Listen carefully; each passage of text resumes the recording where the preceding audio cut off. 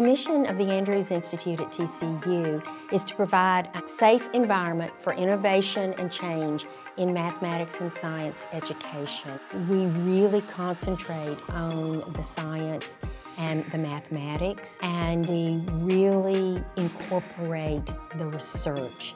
Andrews Institute Professional Development, they combine overwhelming emphasis on community between the professors, the practicing teachers in our area, and the graduate students. Fort Worth is a resettlement area. We have a huge population of non-English speakers. The Andrews Institute with Fort Worth ISD have partnered so that we conduct a three-week workshop in the summer doing what we currently believe to be the best integration to helping these children learn science as they learn the language that it's going to be taught and tested in, which is English. As we begin to think of what happens with kids in schools, rather than waiting for them to acquire language, we use the science to have the language acquisition go hand in hand with that. The language of a science classroom is a little bit different in some ways. We begin with everyday functional language, but science is very academic in many ways, mathematical understanding is important, symbols, how you communicate that in science is important. We talk about uh, graphic representation is important in science. And we've even been looking at the manual technical component. So it's not just ESL in a traditional way, but how do these hybrid elements of academic language come together. We wanted our students to realize that they are citizen scientists. So our workshops for the summer are a week long. The students learn how to monitor something. And for us, because the creek is so close and because we're right here on the Trinity River, it makes sense to learn about water. In the week-long summer camps, the students come in, they, they explore the watershed, then they talk about what are they interested in the watershed, what, what, tests, are they, what tests can we run, what tests do they want to run. In my workshops at the Institute, I have learned a lot about the water cycle and the macroinvertebrates and everything that involves the watershed. And it's just really fun.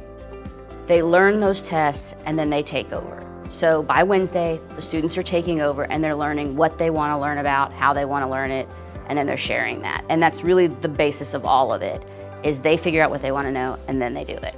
I am a citizen scientist because um, like whenever I'm curious about anything, like just literally anything at all, I'll go online and immediately research it as soon as possible. I am a citizen scientist because I like to go out and I definitely like to tend to different types of flowers in my backyard, even if they're not really in a garden or anything. I have a nine-year-old named Austin Johnson. I think he is a citizen scientist. I've been very impressed. We enjoy the program. We will be back this summer to dig deeper into science and if they have a fourth year, we'll be back then too. You're going to indicate the teacher outreach that the Andrews Institute is currently doing is funded through the Teacher Quality Granting Program. They get an intensive summer. Some summers is two weeks and some summers it's three weeks. They come to us on one Saturday a month for the whole academic year. And the way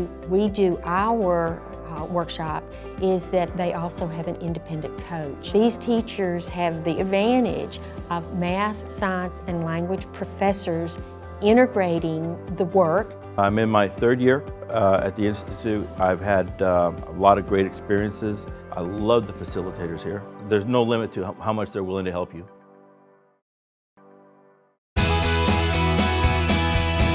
Working with them here in the Andrews Institute, it, it allows me to really work with my peers and to get information from them that I wouldn't have gained otherwise. It's, it's really expanding my ability to understand what I'm supposed to teach.